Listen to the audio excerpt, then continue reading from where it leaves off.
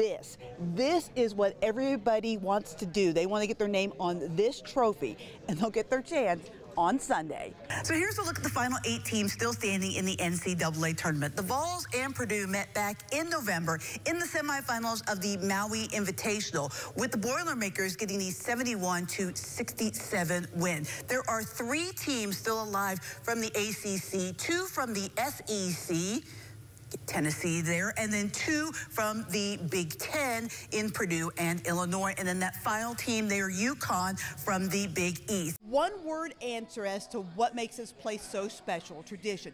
This, the Streamline Hotel, is literally the place where NASCAR was born, and Daytona is the place everyone wants to win. The most glaring statistic is this one right here. No wins against a Division One program with a winning record. Casey, I am joined now by the new head football coach of the ETSU Bucks, Tre Lamb. First of all, Tre, congratulations. And what are your first impressions of ETSU? What we do.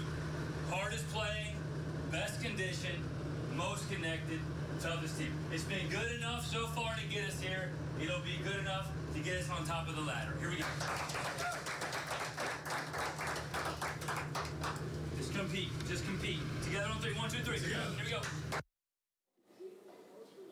That was ETSU head coach Brooks Savage firing up the Bucks in the pregame. ETSU playing in their first Southern Conference championship game since 2020 and trying to become the first school since 1939 to win four games in four days. The winner of this game will move on to the Southern Conference championship game. The Bucks looking to knock off number one seeded Samford. Early on, the Bulldogs came barking. Jermaine Marshall off to Achor Achor for the bucket and one. Samford would jump out to an 11 to 2 lead. But here come the Bucks. Quimari Peterson attacking the glass and finishing for the tough two. Now all tied up. It's Peterson again. Between the legs, step back, and his triple goes down. The Bucks take their first lead of the game. Later on, the Bucks down two again. Alan Struthers drives and kicks out to Tyler Rice, delivering off the bench to give the Bucks a lead back. ETSU trailed by just two at the half. Second half, Samford on the mood as Jaden Campbell takes the pass and hits from beyond the arc. That puts the Bucks down nine. But here comes ETSU again. Bucks swinging around the arc, and Ebby Asamoah delivers from downtown, cuts the deficit to five. Then it's Peterson with a lay-in. He has 17. Asamoah had 18 for the Bucks. Final minutes, Rylan Jones gets the pass batted down, but finds it mid-air and finishes, and that's just kind of how the final stretch would go. ETSU's magical run ends, falling 76 to 69 in the title game. Look at this incredible crash. We all know racing is dangerous, and those who do it are obviously adrenaline junkies. But NASCAR is a billion-dollar industry, so should top stars be allowed to participate in extracurricular activities? Like other forms of racing that could put them out of the car for weeks. For a large chunk of its 75 years, the sport of NASCAR was as black and white as the photos that detail its history. Not that there weren't diverse fans or even drivers trying to make it the sport, but at times it seemed as if the sport did not want them to be a part of it. In the early 2000s, Tennessee icon Reggie White started a diversity program with Cup Series owner Joe Gibbs. And shortly after, NASCAR founded its own diversity program. The first Drive for Diversity Combine was held in 2004 as a way to test the top talent of all backgrounds and help to find a place in the sport. It helped develop current Cup stars like Bubba Wallace, Kyle Larson, and Daniel Suarez. This year marks the 20th Advanced Auto Parts Drive for Diversity Combine. I got an exclusive behind the scenes look at how it works and how it creates stars of the sport. The Central girls soccer team knew this could be a good season. They just never really understood how good it could be. Yesterday, honestly, at the end of the game, our coaches asked us to raise our hands if we thought that we'd get that far. And not even half of our team raised their hands because we didn't think that we had it. And then it just clicked. That's when everything changed. Like, we made it past first round of regions, and then we, we didn't want to lose the second round. So we wanted to keep going, and we still want to keep going, and we want to make it to the championship. Their success built on the concept of family. The key is, is passion and hard work. Um, we, we don't have any superstars that just take over the game, but we have a group of girls who care for one another and they work extremely hard. An idea that's more than just a chant and was put to the test earlier this season. We've learned that a juvenile killed in an ATV crash Sunday evening in Wise County was a middle school student. That student was Nate Jordan.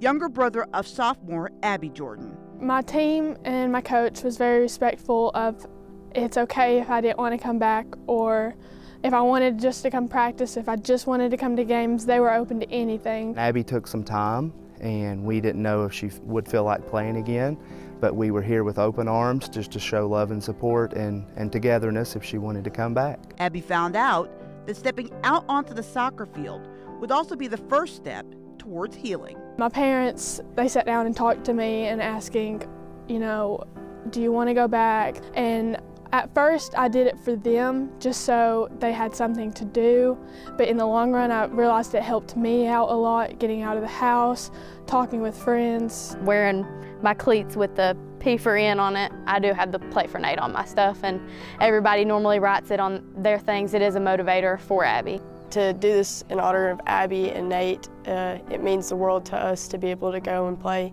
and, you know, do our best.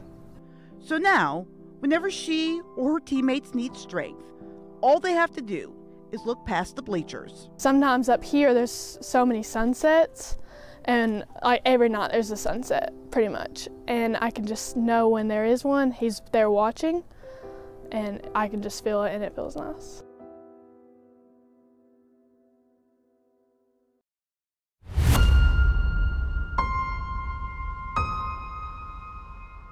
Few athletes are instantly recognized by one name, even fewer by one article of clothing. But then again, few are at the level of Richard Petty. There's athletes in certain sports that do transit, um, but you take them out of that context and people recognize them still, and that's the way he is. He changed the sport not only in the generation when he was most successful, but um, every generation after. Nicknamed the King by the media in the mid 60s, rather be called that and a lot of other things. Petty and his family have been a part of the sport since its inception, with his father running the first NASCAR race 75 years ago. I went to the very first race that uh, Cup race that NASCAR had in 1949. The Petty family accomplishments since then read like a guide to the biggest races and the biggest moments in the sport. Some of his records are, are, that he has made, um, they're never going to be touched because of the amount of races we run, because of where we're at in the sport. But for the king and his petty court, the legacy is about so much more than what Richard has done on the track. I did nothing by myself. There was always my dad or my brother, Dale Inman, our crew chief. I had the family around you, uh, but then you had all these people that worked for us over the years. They're the ones that made it work. It's, it says 75 years uh, of racing, you know what I mean? But I think when you look back, it's also 75 years of family. Petty says the biggest legacy his family will leave behind is the Victory Junction Gang Camp. That's a camp for children with various illnesses. It was created in honor of Kyle's son Adam, who was killed in a crash in New Hampshire in 2000. At the Daytona International Speedway, I'm Heather Williams.